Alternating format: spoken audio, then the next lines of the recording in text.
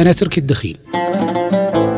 يسعدني أن أصافح أسماعكم كل يوم في شهر رمضان المبارك على أثير إمارات اف ام في برنامج في خاطري شيء في خاطري شيء في خاطري شيء.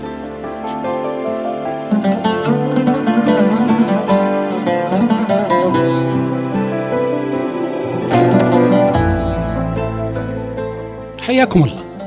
إذا كنت حران إلى أقصى درجة شتائمك للجو أو شكواك من الحرارة تأكد أنها ما راح تحول الجو إلى جو بارد بأي شكل من الأشكال. تخيل أنك مريض تحس بمغص في بطنك لا قدر الله. وكنت تصارخ من الألم.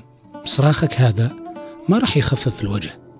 الشيء الوحيد اللي ممكن أنه يخفف الوجع أنك تفز وتصبر على آلامك وتروح للطبيب علشان يعطيك إبرة أو دواء أو يشوف لك حل. مع الحر تأففك من ارتفاع درجات الحرارة صدقوني ما يلطف الجو. إذا ما حركت طولك وشغلت المكيف حتظل تشكو من الحرارة. الشكوى عمرها ما حلت المشكلة. بالعكس ممكن تزيد إحساسك بالمشكلة لا وتخرب نفسيتك وتحولك إلى شخص مستاء على الدوام.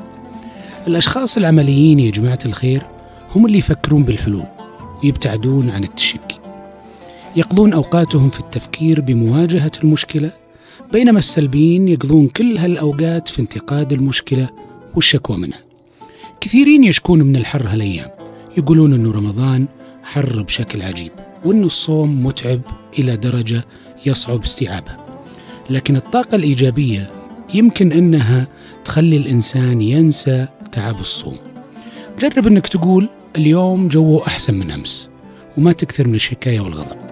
فكر بناس يصومون وهم يشتغلون في الحر بدون مكيف.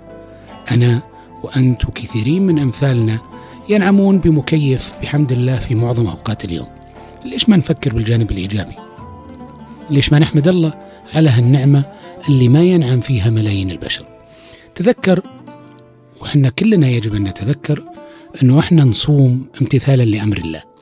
والله سبحانه وتعالى يبي عمل خالص.